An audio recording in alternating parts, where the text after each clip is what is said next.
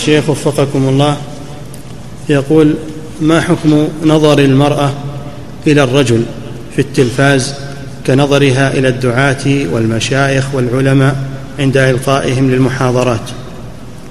والله هذه بلية مسألة الشاشات هذه ظهور الرجال أمام النساء والنساء أمام الرجال هذه مصيبة. بإمكانها أن تستمع للمواعظ وإلى الدروس من الراديو ما تشوف فيه صورة. نعم.